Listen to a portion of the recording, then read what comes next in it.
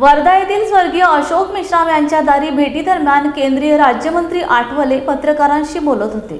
मंत्रिमंडळामध्ये जेवढ्याला विस्तार होईल तेवढ्याला आरपीआयला एक मंत्रिपद मिळावं अशी मागणी देवेंद्र फडणवीस यांच्याकडे केलेली आहे. आणि विस्तार होईल त्यावेळेला नक्की आरपीआयचा विचार होईल असं त्यांनी सांगितलेलं आहे. पाहूया तर काय होतं ते ज्यावेळेला विस्तार होईल त्यावेळेला आरपीआयला त्यामध्ये संधी मिळेल.